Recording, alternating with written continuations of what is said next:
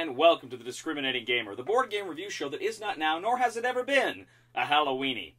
Today, we're going to take a look at A Touch of Evil Dark Gothic, a deck builder game from Flying Frog Productions.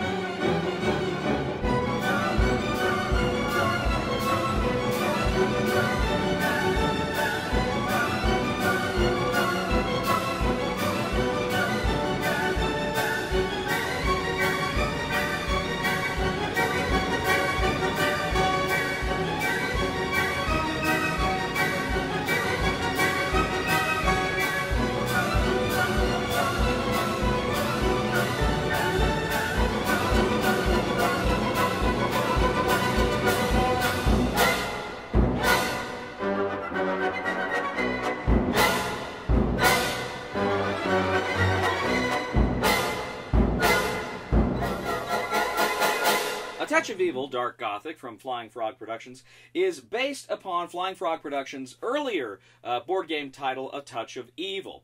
Now, where so many of uh, these board games we see today are based in the Cthulhu universe, uh, the kind of dark gothic touch of evil uh, flying frog games they kind of look back at washington irving edgar allan poe the great american horror writers of the early and uh, mid 19th century if you have played A Touch of Evil, you know that game owes a lot to the film uh, Sleepy Hollow, the Johnny Depp film Sleepy Hollow. It's it it almost feels like you're playing a board game version of that movie. Um, now, it, not exactly. I mean, obviously, it is somewhat different. Now, Flying Frog Productions is also known for the fact that on a lot of their games, they have this kind of cheesy photography instead of artwork.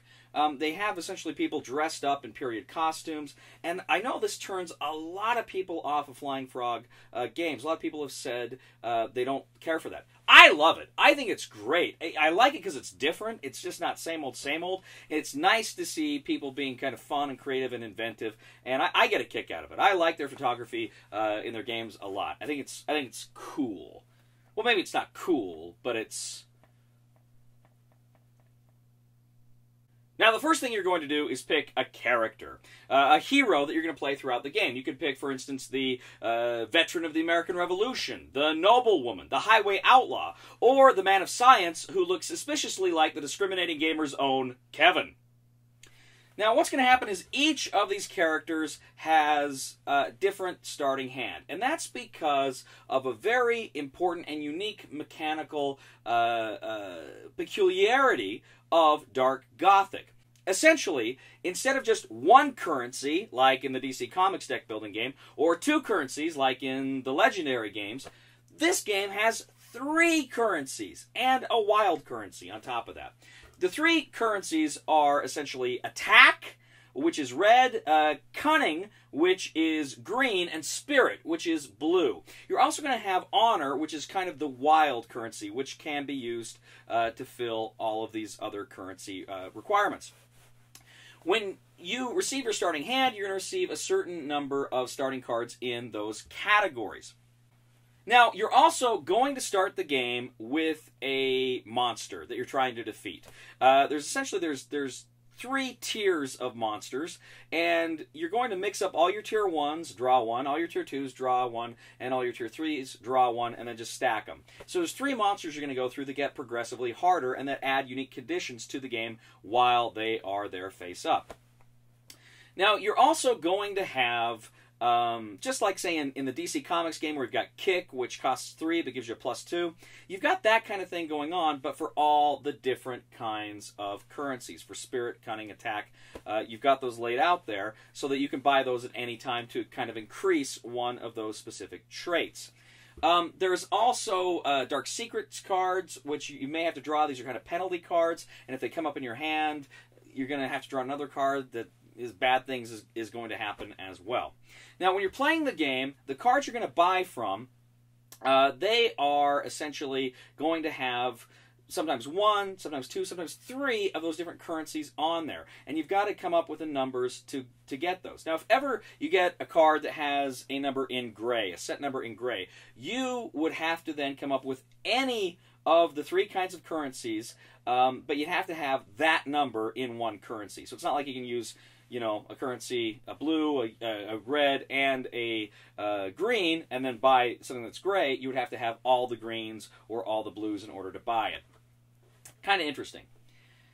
Now, as the game progresses, some events are going to come out as cards are revealed. For instance, there's a, a, a uh, one of the events is going to force you to take the top card off the deck and put it next to the monster. This becomes the shadows. If ever there are ten shadows, all the players lose the game. Um, so that's kind of very interesting there too. It's it's semi-cooperative. You're going for an individual victory, but all, all, the players can lose. Now another very interesting and unique mechanic in a deck builder here. There is a dice in this game. You're going to be rolling dice. Occasionally, you're going to get uh, cards that will tell you you have to roll dice for various reasons. Now, this dice has 1, 2, 3, and 4 on it, but then it also has two skulls. Now, in the event that you're rolling for a number, the skulls represent 0. But a lot of times, things will say if you roll a skull, something bad's going to happen. So that's kind of another little interesting, uh, unique mechanic of this game. Now, as the game progresses, uh, you're, you're, you're, you're getting these cards, and then eventually you're going to try to defeat the monsters. Now, at the end of the game, uh, once all the monsters have been defeated, uh, the investigation number, which is in the bottom corner, that is essentially your uh, victory points. You're going to total up all your victory points for the game, and whoever has the most wins. So, what do I think of A Touch of Evil Dark Gothic? Well, I'll tell you right now, this game plays very similarly to the DC Comics game. It feels very similar mechanically the way it works. The chief difference being those three currencies. Where DC only has the one currency power, this has got three different kinds of currencies. And that is, uh, in some ways, both a plus and a minus. It's fun because it forces you to kind of develop strategies in the game and, you know, try to buy those specific colored cards if you want to defeat monsters or do other things. And that's pretty cool.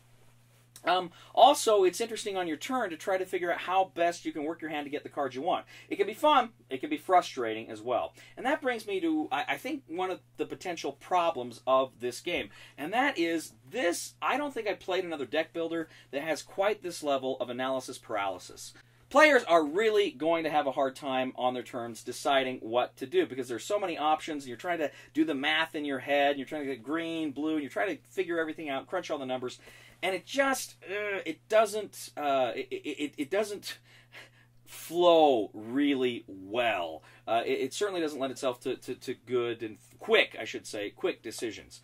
Um, to give you an idea, uh, we sit down to play this, a couple of guys, and, and I'd played it before, and then a couple other guys next to us were playing Five Tribes. None of them had played it before. They figured out Five Tribes and got through a game before we finished this one. So if that's saying something. Now, I will say this the game plays two to six players. I don't think you want to play with six players. I haven't played with more than four, and I thought four was plenty. Honestly, I think your sweet spot here is two to three players, maybe four. We played it with three, went a little bit faster. Four players was was not bad, but I'm thinking two to three is your sweet spot here. I don't think that the analysis paralysis problem kills this game or makes it unplayable or unworkable at all. It's just something you got to be aware of. Like I say, go for that sweet spot. I think you'll be okay. Uh, but just be prepared. There is going to be some AP in this game, and you need to remember that. Um, now, also, uh, the dice. I have not played a deck builder that used dice like this before, or, at all that I know of. Um, I liked it. I thought it was fun.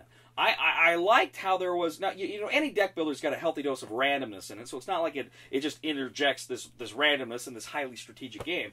But but it's a it, it's a different way. It's it's just something quick and fun and clever that adds another layer to the game. Um, I enjoyed it. I got a kick out of it. I, I liked the dice. I thought that was a fun, interesting mechanic. So um, all told, uh, Touch of Evil Dark Gothic from Flying Frog Productions. Um, is a good game. It's a solid game. You know, I got to tell you, I'm kind of hit or miss with Flying Frog.